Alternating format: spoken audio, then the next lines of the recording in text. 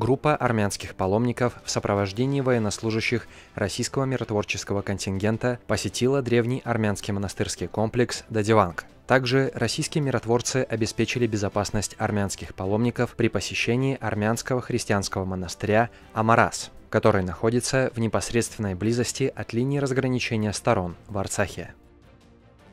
В Арцахе планируется облегчить процедуру ношения оружия. Предусмотренная законопроектом поправка направлена на то, чтобы оставить за собой право приобретения охотничьего ружья за гражданами, прошедшими обязательную военную службу, которые знают правила обращения с ним. Авторы проекта также упоминают в обоснованиях, что в 2020 году многие деревни в республике Арцах стали приграничными поселениями в результате трехстороннего соглашения. Находясь в неразрешенном конфликте под ежедневной угрозой угрозой войны гражданам Республики Арцах крайне необходимо иметь возможность обеспечить необходимый уровень самообороны.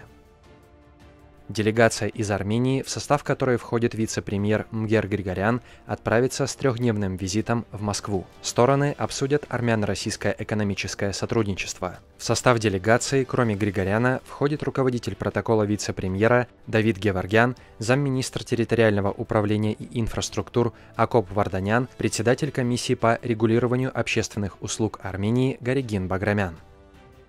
Armenian Wounded Heroes Fund собрал 7,5 миллионов долларов для открытия собственного центра реабилитации раненых военнослужащих. Центр будет открыт в Ереване и займет площадь 7 тысяч квадратных метров. Помимо этого, Armenian Wounded Heroes Fund передал фонду 1000plus.am 122 тысячи долларов. Ожоговый центр в Ереване получил 10 тысяч долларов. Семьи раненых солдат получили 200 тысяч долларов. А на протезы фонд выделил 500 тысяч долларов.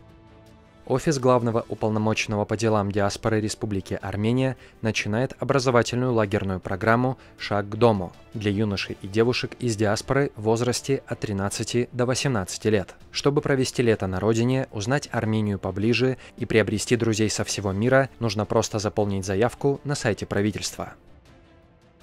Сегодня открывается международная туристическая выставка MITT 2021 в Москве.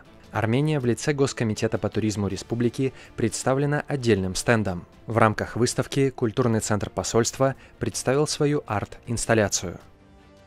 Сквер имени легендарного клоуна Мима, народного артиста Армянской ССР Леонида Янгебарова открылся в понедельник в Ереване. Дата открытия приурочена ко дню рождения артиста спустя 10 лет, на протяжении которого велось строительство здания цирка, на родное место вернулся также памятник артисту. Решение о переименовании сквера именем Янгебарова было принято в апреле 2020 года. Сквер расположен у здания Ереванского цирка на углу улиц Сурб-Григор-Лусаворич и Агатангегос в центре столицы.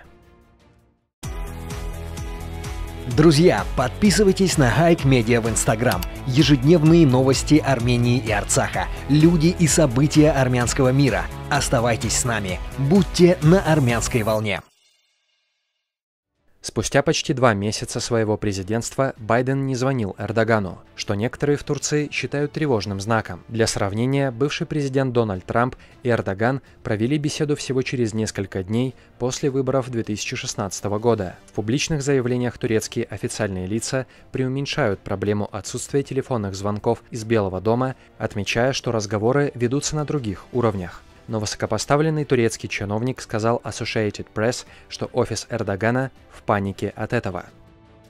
Владимир Путин присвоил почетное звание заслуженного географа Российской Федерации первому вице-президенту Русского географического общества, депутату Государственной Думы армянского происхождения Артуру Челенгарову. Помимо огромного количества российских и международных наград и званий, Челенгаров в 2000 году награжден от Армении медалью Анании Широкоци, а в 2008 году орденом Святого Месропа Маштоца.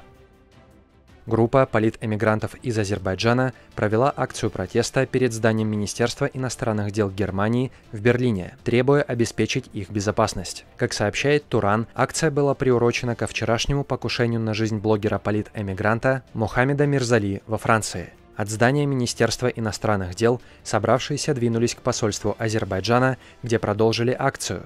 Выступившие осудили преследование политэмигрантов в Европе, потребовав от стран-членов Евросоюза принять меры для безопасности критиков правительства Азербайджана. Сто лет тому назад, 16 марта 1921 года, Советская Россия и Кемалийская Турция подписали в Кремле договор о дружбе и братстве. Согласно условиям, бывшие армяно-населенные территории Российской империи Карс, Ардаган и Сурмалинский уезд с горой Арарат отходили туркам. При этом Турция уступала советской Грузии Батум. Кроме того, Москва обязывалась предоставить кемалистам существенную помощь деньгами и оружием. По сведениям из Анкары, Эрдоган пребывает в ярости. Легенда о его любимых байрактарах разрушена окончательно. Сперва на его нефтеперерабатывающий завод, который находится на севере Сирии, прилетели три ракеты, которые эффективно поразили упомянутый завод и множество цистерн. Ракеты были выпущены из российских кораблей, находящихся в этот момент в Средиземном море. Вооруженные силы Турции разработали план, согласно которому должен был быть нанесен молниеносный удар при помощи своих хваленных ударных беспилотников «Байрактар». Целью была выбрана локация, которую прикрывал российский зенитно-ракетный пушечный комплекс «Панцирь-С». Однако противовоздушная оборона отлично показала себя и уничтожила более десятка хваленных БПЛА за три дня. Сегодня свое 85-летие отмечает Реймонд Дамадьян – изобретатель МРТ. Реймонд Дамадьян был награжден Американской национальной медалью за заслуги в области технологий, введен в Национальный зал славы изобретателей и получил премию Массачусетского технологического института и фонда имени Лемельсона как человек, который изобрел магнитно-резонансный томограф. Европарламент подтвердил и осудил привлечение Турцией сирийских наемников к войне в Нагорном Карабахе. В тексте резолюции, в частности, говорится, по данным стран-сопредседателей Минской группы ОБСЕ, Турция перебросила сирийских наемников в Нагорный Карабах. Европейский парламент решительно осуждает использование Турцией сирийских наемников в конфликтах в Ливии и в Нагорном Карабахе в нарушение норм международного права. Продолжаем акцию «Помоги стране, покупай армянское». Компания Metal World производит в Армении крышки, консервные банки и другую продукцию из металла. В прошедшем тяжелом экономическом году Metal World не только не сократил объемы своих работ, но и открыл новое производство, закупив оборудование на 3,5 миллионов долларов и создав новые рабочие места.